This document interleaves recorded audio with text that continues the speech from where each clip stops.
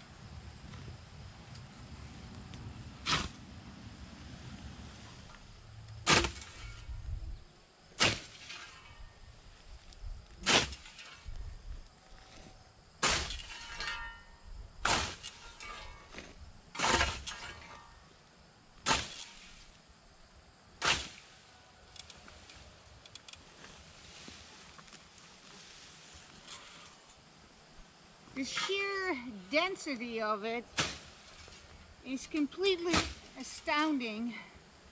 All ragweed.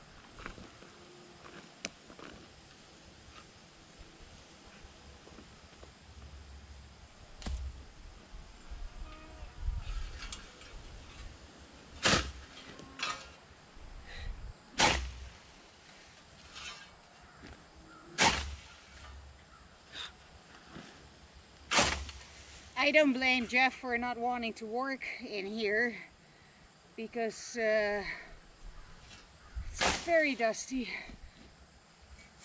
and he is very allergic to ragweed.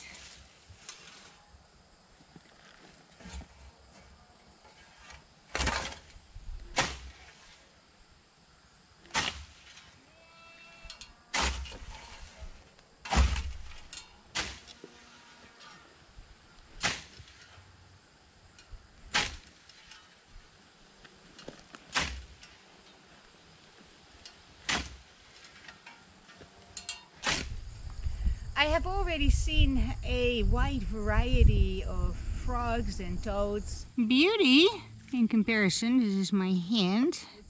So there is a healthy wildlife here, probably mostly because of these naturalized areas. The Conservation Authority planted trees in here. On this side of the fence, it is not a naturalized area. This is a paddock that has been used for cattle and so they ate everything that was remotely edible for them and only left the noxious weeds. They left a lot of ragweed. They left thistles, they left burdock. I've seen uh, red-rooted pigweed. This is not a naturalized area.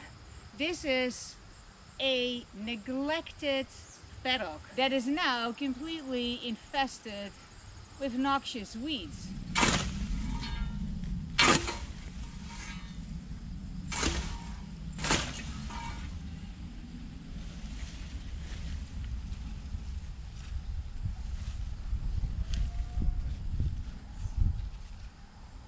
Burdock.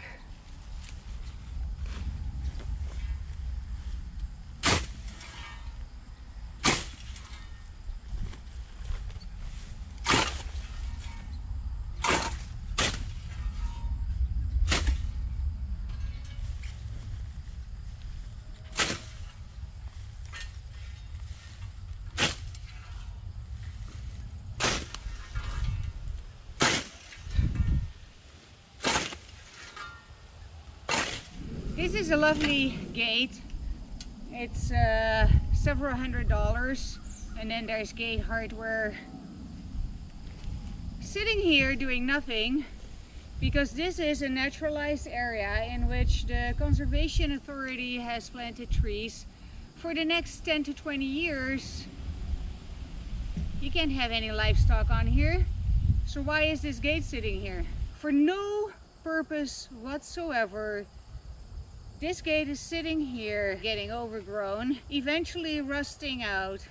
And by the time you're putting cattle on here again, because the trees have grown up in like whatever, 20 years, this gate will have deteriorated.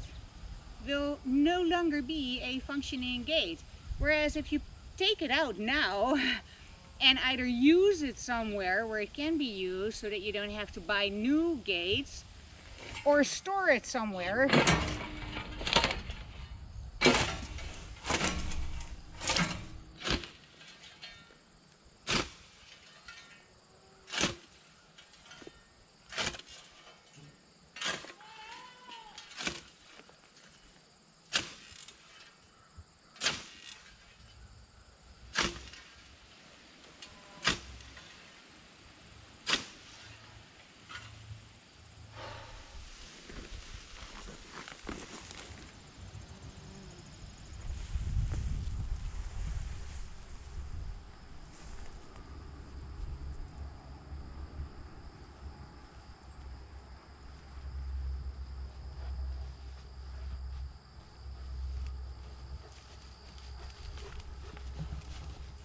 Isa. You're very brave in the jungle. More rocks. And a few more thistles.